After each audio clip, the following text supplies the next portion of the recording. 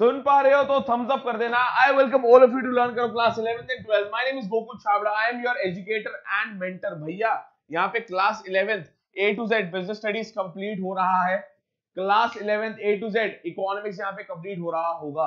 यार, सुबह की क्लास शेड्यूल थी, वो नहीं ले पाए। Due to some technical glitch कुछ ग्लिच आ रहा था बट आई एम श्योर अब पूरा सिस्टम पूरा का पूरा सिस्टम क्रिस्टल क्लियर हो चुका है।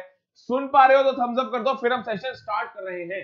एक बार तुम नहीं बताते तो मुझे ही देखना पड़ता है भैया सेशन चल रहा है या नहीं चल रहा है। तो एक बार सुन पा रहे तो थम्स अप कर दो। यस जी स्टार्ट कर रहे हैं। Public private and global enterprises जो भी 2021 के अंदर अपने एग्ज़ाम्स दे रहे हैं क्लास 11 स्टूडेंट्स की यहाँ पे पर्टिकुलरली बात हो रही है। Class 11 students who will be appearing appearing for their final exams in 2021 they need not do this global enterprises part क्योंकि ग्लोबल एंटरप्राइजेस उनके कोर्स में नहीं आ रहा है। अदरवाइज़ कोई भी और ईयर में दे रहा है, ये ये पूरा का पूरा पेपर क्लास 11 जो भी यार फाइनल एग्ज़ाम्स आप दे रहे होंगे, सारा का सारा हम यहाँ पे कवर कर रहे होंगे। ग्लोबल एंटरप्राइजेस सिर्फ़ 2021 वालों को नहीं करने अदरवाइज़ तो हमें करना ही है, घबराने की कोई बात नहीं है। मैंने तुम्हें पब्लिक कंपनी प्राइवेट कंपनी में डिफरेंस क्या होता है and public enterprise private enterprise में डिफरेंस क्या होता है? अब मेरे से कभी भी ये मत पूछ लेना कि पब्लिक कंपनी और पब्लिक एंटरप्राइज क्या सेम है? नहीं सेम नहीं है। I have already declared I have already discussed a lot about this private enterprises के अंदर जॉइंट स्टॉक कंपनी आती है कंपनीज़ के दो बाइफर्केशन हो सकते हैं। पब्लिक एंटरप्राइज सॉरी कंपनी के दो बाइफर्केशन हो सकते हैं public company and private company वो चीज़ अलग है और पब्लिक एंटरप्राइज अलग है। पब्लिक एंटरप्राइज क्या है? रेलवे आर्मी जो बेसिकली गवर्नमेंट ऑफ़ इंडिया या गवर्नमेंट किसी भी देश की, किसी भी कंट्री की गवर्नमेंट किसी चीज़ को ऑपरेट कर रही है, किसी ऑर्गेनाइजेशन को एंटरप्राइज को रन कर रही है उसके सारे के सारे ऑपरेशंस गवर्नमेंट के परव्यू के अंदर आ रहे हैं। उसको हम बोलेंगे पब्लिक एंटरप्राइज आज हम सबसे पहले पब्लिक एंटरप्राइज के बारे में पढ़ने जा रहे हैं वो है डिपार्टमेंटल अंडरटेकिंग्स अरे भैया नाम तो ऐसा है बस का, कातिलाना नाम है मज़ा आ गया बिल्कुल डूब गया मैं तो नाम में। डिपार्टमेंटल अंडरटेकिंग घबराओ मत है बहुत आसान। मैं सबसे पहले तुम्हें एग्जांपल देता हूँ जो तुम्हारे एनसीईआरटी में भी नहीं दे रखे। भगवान जाने क्यों नहीं दे रखे? बट ठीक है यार एजुकेशन सिस्टम बहुत अच्छा हमारा एनसीईआरटी नंबर वन है गॉड है एनसीईआरटी तो। पर आप एग्ज़ाम्पल ज़रूर पढ़ना इसके। Railways is one example railways is one example post and telegram office post and telegram office is another example जो आपने सुना होगा, दूरदर्शन पे मूवी आ रही है। वो क्या है? डिपार्टमेंटल अंडरटेकिंग है। दूरदर्शन। लिखो और लिख के आना। जो भी टीचर तुम्हारा चेक कर रहा होगा, मज़ा आ जाएगा उसको देख के अच्छा दूरदर्शन भी डिपार्टमेंटल अंडरटेकिंग है। बस हम भगवान से प्रे कर रहे हैं, उस टीचर को पता ना हो कि दूरदर्शन डिपार्टमेंटल अंडरटेकिंग है चलो, तुम्हें तो पता है, किसी को पता हो या ना बताओ तुम्हें तो पता है, अगली बार जैसी दूरदर्शन का नाम देखो, अरे डिपार्टमेंटल अंडरटेकिंग ऐसे बोलना मत, पर हाँ मन में सोच लेना, ये तो डिपार्टमेंटल अंडरटेकिंग है राइट सर इसके पहले हम पढ़ने वाले, उसी फ्लो में चलेंगे. Meaning features merits and demerits हमारा ये पूरा का पूरा पार्ट खत्म हो जाएगा. Realistically this is part two of public private and global enterprises chapter three business studies class eleven ये पार्ट टू है। पार्ट टू के बाद ऑलमोस्ट आपके पास तीन से चार पार्ट और है। ए टू जेड हमारी एनसीआरटी यहाँ पे कवर हो रही होगी। घबराने की और कोई बात नहीं है। और ये उन उन क्लासेस में से नहीं है कि 10-15 मिनट में सब पढ़ा दिया। आराम से जितना हमें टाइम लगेगा, उतना चल के चल, उतना समझेंगे, उतना चलेंगे। और अगर आधा घंटा लगेगा, आधा घंटा पढ़ेंगे पर मेरी गारंटी है, आपसे इतना टाइम नहीं लगेगा। लेस देन 15 20 मिनट्स में आपका ये पूरा पूरा डिपार्टमेंटल अंडरटेकिंग सारा खत्म हो जाएगा। स्टार्ट करें, चालू, okay. This is the oldest important है। अब भैया इंपॉर्टेंट बातें शुरू हो गई है। दूरदर्शन हमने समझ लिया। अरे, दूरदर्शन के characteristics similarly railway post and telegram office इन सब के डिपार्टमेंट्स के कैरेक्टरिस्टिक्स क्या है? पहली बात तो ये ओल्डेस्ट है and most traditional form of organising public enterprises departmental undertaking देखो यार, ये फैक्चुअल बात है। इसमें तो समझने वाली बात ही नहीं है। कोई फैक्चुअल बात है, वो तो हमें क्या करना है? रट लेना है, पानी की तरह घोट लो अंदर और रट लो इसको बस।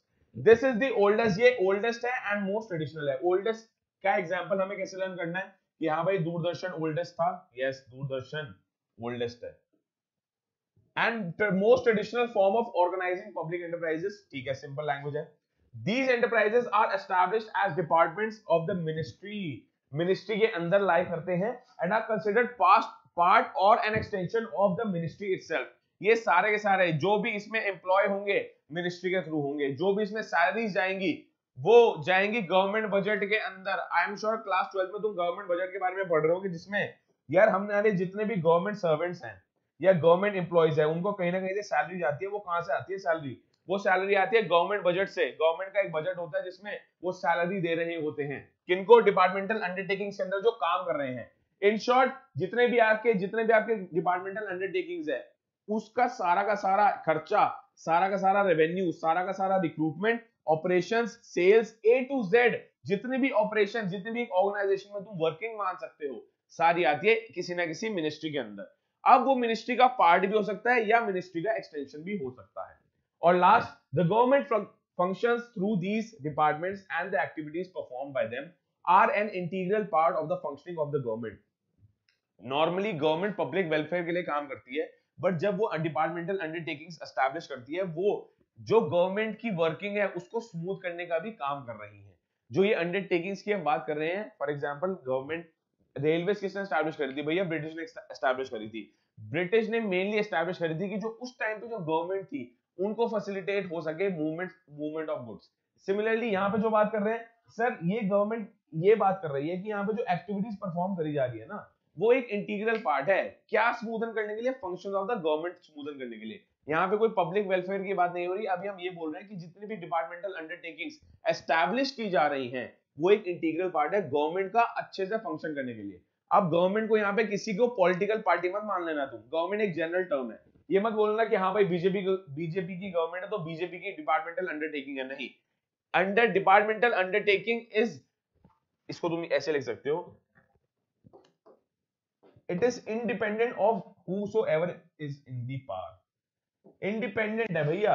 वो तो नॉर्मल सरकार की है। अब सरकार चाहे बीजेपी की हो कांग्रेस की हो बीएसपी की हो, किसी की भी सरकार हो इन शॉर्ट हमारे केजरीवाल साहब की हो डिपार्टमेंटल अंडरटेकिंग एक एस्टैब्लिश बॉडी है। वो इंडिपेंडेंट ऑफ़ द फैक्ट है कि चाहे गवर्नमेंट किसी भी, कोई भी पॉलिटिकल पार्टी पावर में आ रही हो, वो रहेगी गवर्नमेंट की मान लो भैया, कल को केजरीवाल साहब हमारे प्राइम मिनिस्टर बन जाते हैं। तुम कहोगे, हैं? ये ऐसा हो सकता है? हाँ कुछ भी हो सकता है भाई, कुछ भी हो सकता है। तो फिर आगे जी, आम आदमी पार्टी की पूरी की पूरी सरकार हो गई। आम आदमी पार्टी की जब पूरी सरकार हो गई तो हम बोल सकते हैं डिपार्टमेंटल अंडरटेकिंग आम आदमी पार्टी के फ़ंक्शंस को स्मूदन कर रही है। अभी वो किसके फ़ंक्शन को स्मूदन कर रही है? स्टेट गवर्नमेंट को भी स्मूदन कर रही है सेंट्रल गवर्नमेंट को भी स्मूदन कर रही है। ठीक है जी? बिल्कुल सही है। हम ये बात इतना डिटेल में, अब तुम बोलोगे, यार, ये पॉलिटिकल पार्टीज़ को पढ़ा रहे हैं पॉलिटिक्स में क्यों जा रहे हैं? मैं इसलिए जा रहा हूँ क्योंकि गवर्नमेंट को लोग सोचते हैं government for example current government तुम सोच रहे हो बीजेपी है। अरे करंट गवर्नमेंट कुछ और होता है पॉलिटिकल पार्टी जो गवर्नमेंट फॉर्म करती है, वो कुछ और होती है।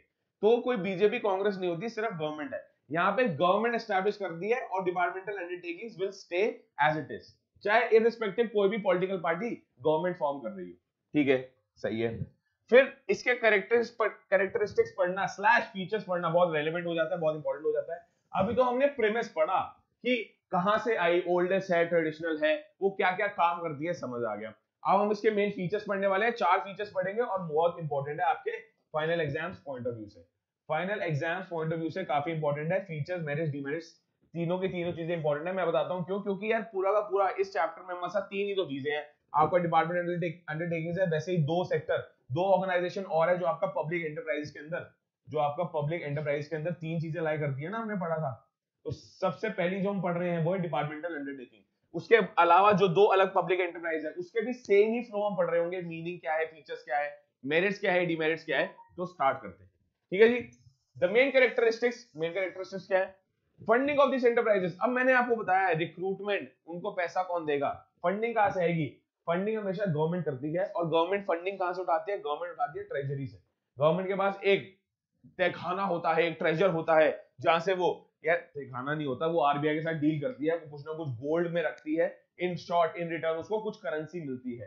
तो इन शॉर्ट यहाँ पे बात सीखने वाली ये है फंडिंग कहाँ से आती है? इन सब की वर्किंग के लिए। अब भैया रेलवे तुम चला रहे हो रेलवे में एक्सपेंसिव बहुत ज़्यादा है। रेलवे के एम्प्लॉयज़ को तुम्हें सैलरी देनी है। रेलवे का फिर रेवेन्यू तो आ ही रहा है, पर एक्सपेंडिचर भी तो है ना कुछ ना कुछ। तो उसको फंड कौन सा करता है? उसको इनिशियल फंडिंग देती है government treasury and are an annual proportion from the budget of the government जैसे जैसे कि मैंने तुम्हें बताया गवर्नमेंट बजट से इनका एक अलग से रिजॉर्ट आता है कि हाँ भैया डिपार्टमेंट अंडर डिपार्टमेंट अंडरटेकिंग्स का क्या एक्सपेंडिचर है इस साल? तो वो गवर्नमेंट एक्सपेंडिचर का पार्ट है जो कि गवर्नमेंट बजट में रिकॉर्ड होता है। सबसे पहला पॉइंट पढ़ लिया। They are subject to accounting and audit controls applicable to other government activities इन सब की, ये एक, इसको तुम क्या बोल सकते हो कि, ये एक इंडिपेंडेंट बॉडी की तरह काम करती है। इंडिपेंडेंट बॉडी की तरह काम करती है। अब गवर्नमेंट के अंदर कोई चीज़ आ गई, इसका मतलब ये नहीं है कि उसके सारा का सारा अकाउंटिंग नहीं होगी या ऑडिट नहीं होगा। Just like any other government enterprise और पब्लिक एंटरप्राइज इसकी भी अकाउंटिंग होती है। ये एक इंडिपेंडेंट ऑर्गेनाइजेशन के लिए काम करती है।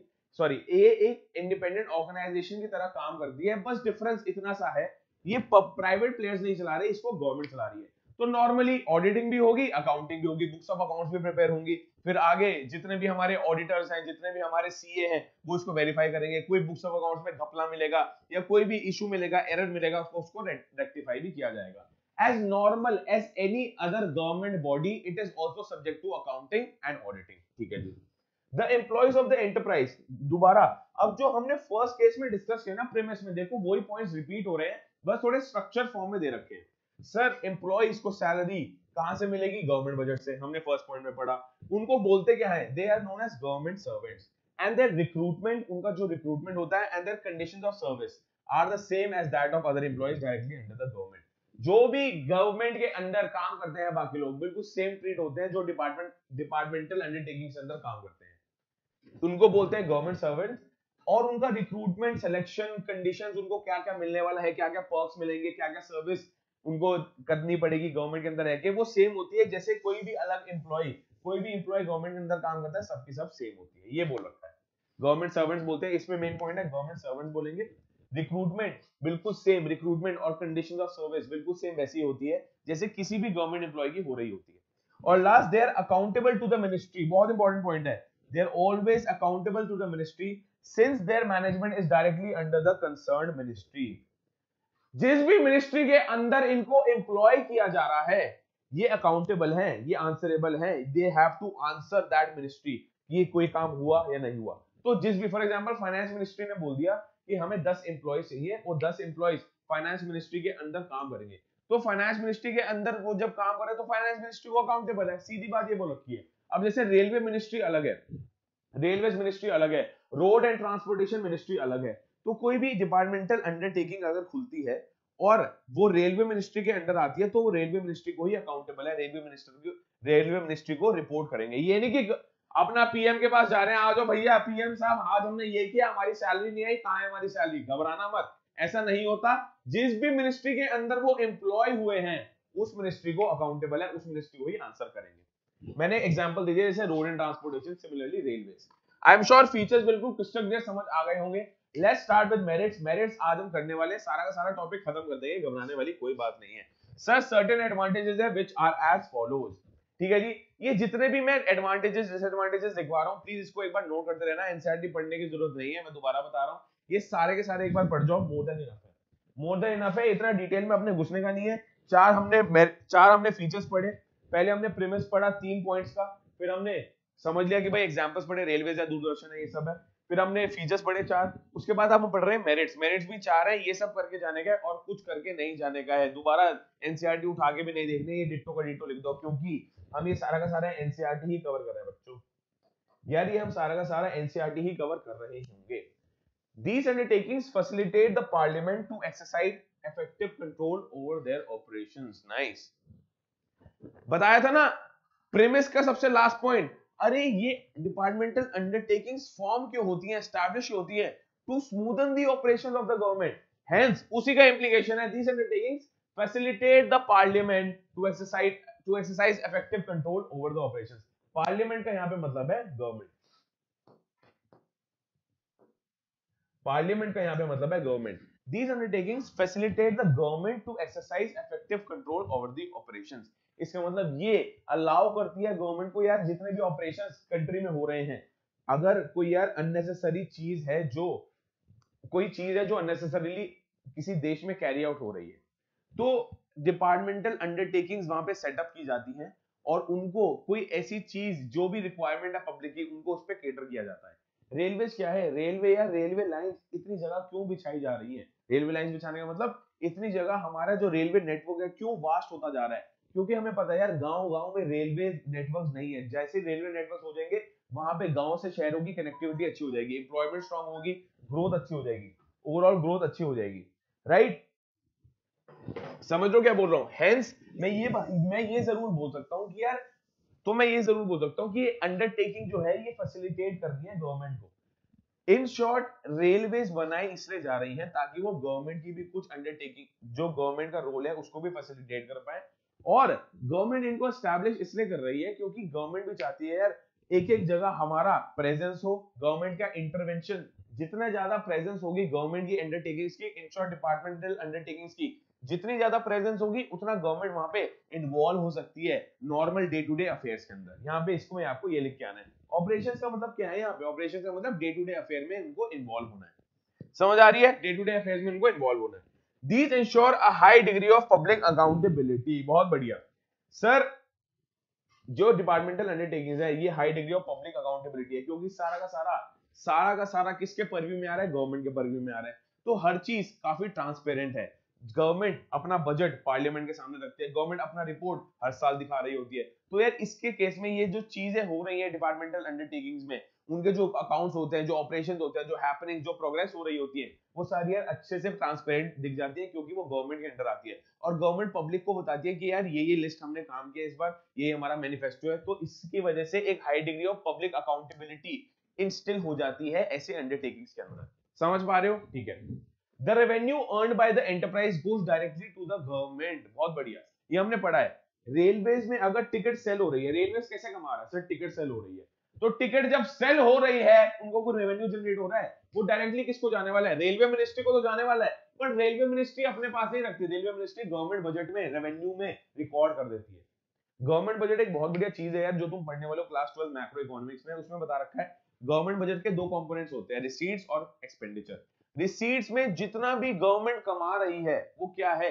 गवर्नमेंट कमा रही है, कहीं ना कहीं तो अकाउंट कर रही होगी तो वो गवर्नमेंट बजट में अकाउंट करती है। जो भी हम डिपार्टमेंटल अंडरटेकिंग से रेवेन्यू कमा रहे हैं, वो गवर्नमेंट के पास जाता है। Right where national security concern अब ये जो अच्छा पॉइंट है सर नेशनल सिक्योरिटी की जब बात आती है दिस फॉर्म ये जो डिपार्टमेंटल अंडरटेकिंग है it is the most suitable since it is under the direct control and supervision of the concern ministry मतलब कोई भी इंफॉर्मेशन लीक नहीं हो सकती कोई भी बात नेशनल सिक्योरिटी की जब बात आती है भैया सिक्योरिटी मेंटेन करके रखनी है टाइट करके रखनी है। हमें कोई भी बात आउट ऑफ़ लीग नहीं बोलनी आउट ऑफ़ बाउंड्री नहीं बोलनी। तो उस केस में यार गवर्नमेंट की कोई एंटरप्राइज अगर होती है तो जो आपकी सिक्योरिटी है, वो बड़ी टाइट रहती है। आर्मी वालों को लेजिट में बताता हूँ आर्मी वालों को। आर्मी के जितने भी कंपोनेंट्स होते हैं, जितने भी पर्सोनास होते हैं, जितने भी people who join army army army soldier जिसको तुम बोल सकते हो they are not allowed to access Instagram और फेसबुक उनको अलाउ ही नहीं किया जाता because they want to create a national security यार जिनके पास इतनी रेलेवेंट इंफॉर्मेशन है। अगर इन ये अपनी सोशल लाइफ सोशल मीडिया के थ्रू दिखाने लग जाएँगे तो भैया यहाँ तो बवाल मच जाएगा। ये कहेंगे गवर्नमेंट गवर्नमेंट के बंदे गवर्नमेंट की इंफॉर्मेशन लीक करो। तो कुछ भी इंफॉर्मेशन जब नेशनल सिक्योरिटी की होती है ना उसको गवर्नमेंट के अंदर मिनिस्ट्री के अंदर स्टैब्लिश करना शुरू कर देना चाहिए ताकि एक नेशनल सिक्योरिटी का लेवल बन, बना रहे। और गवर्नमेंट का एक डर रहे हाँ यार गवर्नमेंट के ऊपर हाथ है मेरा, मेरे पास एक गवर्नमेंट जॉब है और गवर्नमेंट की मैं रिस्पेक्ट करता हूँ तो यार उस केस में जिस भी मिनिस्ट्री के अंदर मैं काम कर रहा हूँ, एक नेशनल सिक्योरिटी का एलिमेंट हमेशा बनने वाला है, हमेशा मेंटेन रहने वाला है। समझ आ गई? सही है जी। नेक्स्ट मूव ऑन करते हैं डीमेरिट्स बहुत बढ़िया। लिमिटेशंस डीमेरिट्स इनको तुम कुछ भी बोल सकते हो। लिमिटेशंस अच्छा लगता है बोलने में, क्योंकि ये एनसीईआरटी का पार्ट है, और एनसीईआरटी का पार्ट है तो भैया एनसीईआरटी ही टेप के आना है। कोई गाइड बुक नहीं उठानी एनसीईआरटी और ये नोट्स जो मैं प्रोवाइड करा रहा हूँ ये नोट्स करके आना और कुछ भी नहीं करना अपने को। जस्ट सेकंड एक बार देख ले कोई सीन तो नहीं है? एक बार देख लेते हैं कोई सीन तो नहीं है? परफेक्ट है सब। आ, चलो जी सही है सब चंगा सब बढ़िया। डन सर डीमेरिट्स की बात करते हैं चलो। Departmental undertakings fail to provide flexibility sir flexibility नहीं है। यहाँ सबसे पहले तुम पॉइंट लिख सकते हो lack of flexibility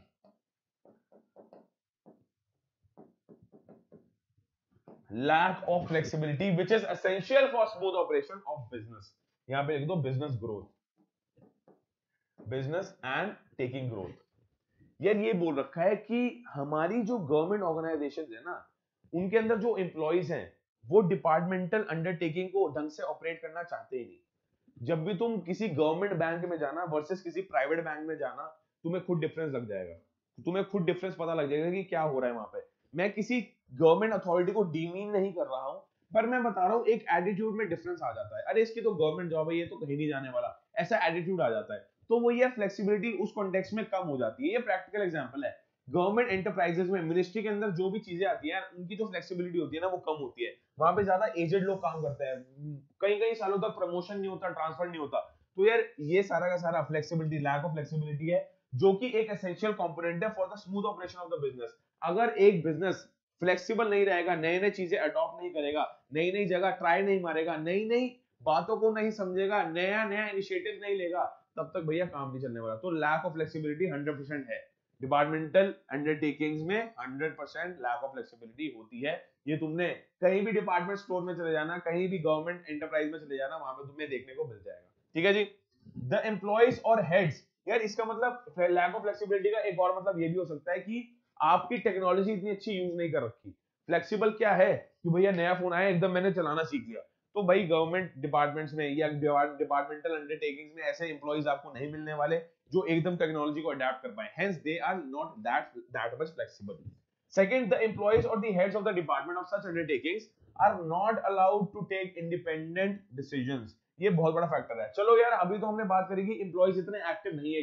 departmental undertaking के। लेट्स से कुछ ना कुछ एक्टिव एम्प्लॉइज है भी। हर जगह नॉन एक्टिव नहीं हो सकते, कुछ ना कुछ एक्टिव भी है। भले ही उनका प्रपोर्शन कम है पर लेट से कुछ ना कुछ एक्टिव एम्प्लॉइज है। उनको भी डिसीज़न मेकिंग अथॉरिटी इतनी ज़्यादा नहीं होती, वो इंडिपेंडेंटली डिसीज़न नहीं ले पाते।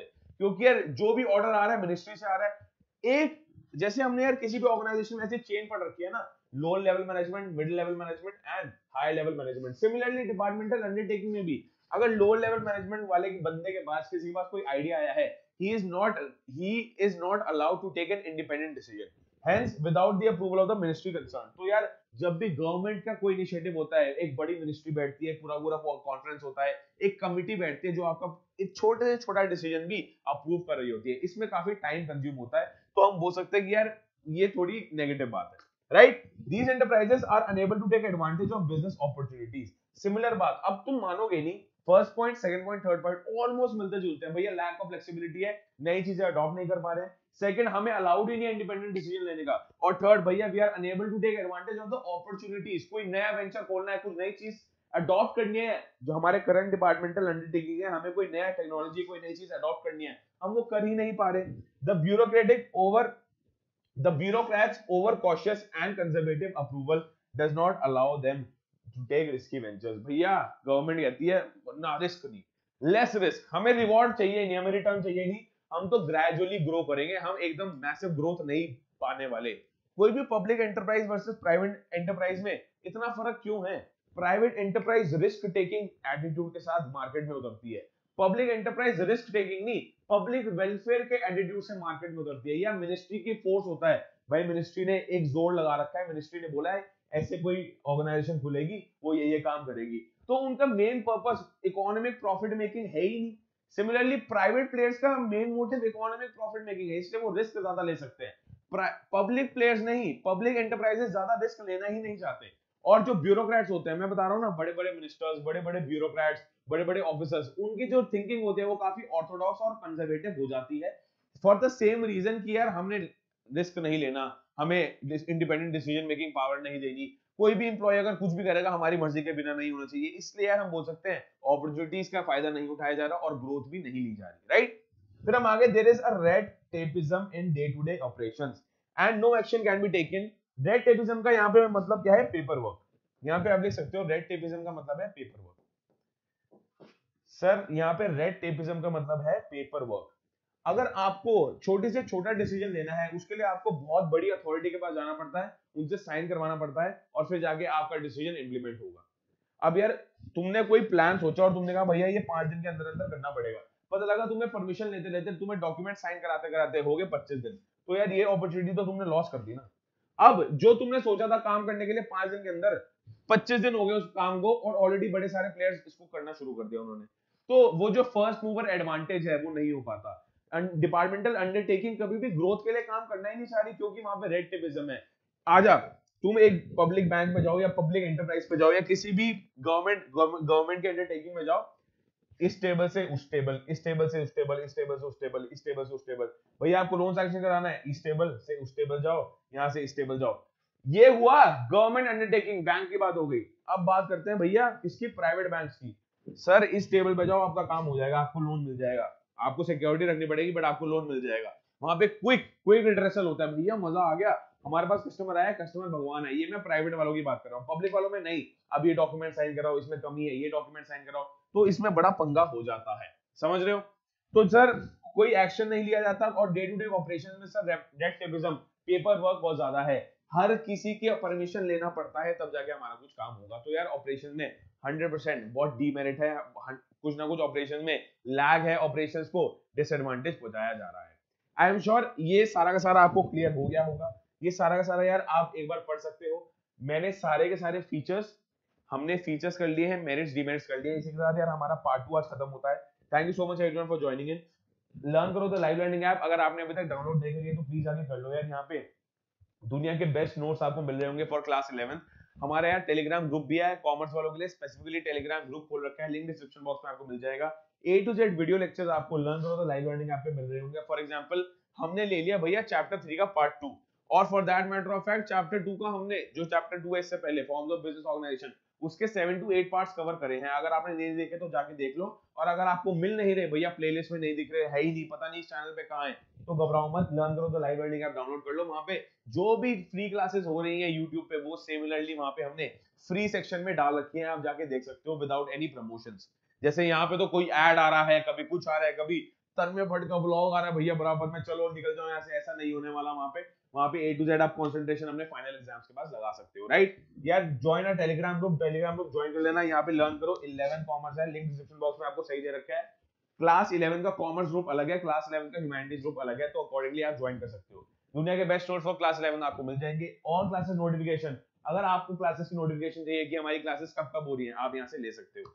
फ्री ऑफ़ कॉस्ट ऐप है, कुछ खर्च करने की ज़रूरत नहीं है, वहाँ पे पेड कोर्सेज भी है आपका डिपेंड है। आपके ऊपर, आपकी दिल, दिली इच्छा है कि आप कोई कोर्स परचेज करना चाहते हो, वरना यूट्यूब वाली क्लासेस तो हमारे पास है ही। सारा का सारा लाइव क्विजेस हम वहाँ पे ले रहे होंगे। मैं ये गारंटी बता रहा हूँ ऐसा कुछ नहीं है कि सारा का सारा कोर्स कवर नहीं करेंगे। ए टू जेड कोर्स हम कवर कर रहे होंगे। Thank you so much everyone for joining जल्दी मुलाकात होगी। Have a great day bye bye और अगर अच्छा लगा तो लाइक ज़रूर करना। अगर आप चैनल पे नए हो तो प्लीज़ सब्सक्राइब ज़रूर कीजिएगा। जल्दी मुलाकात होगी। Have a great day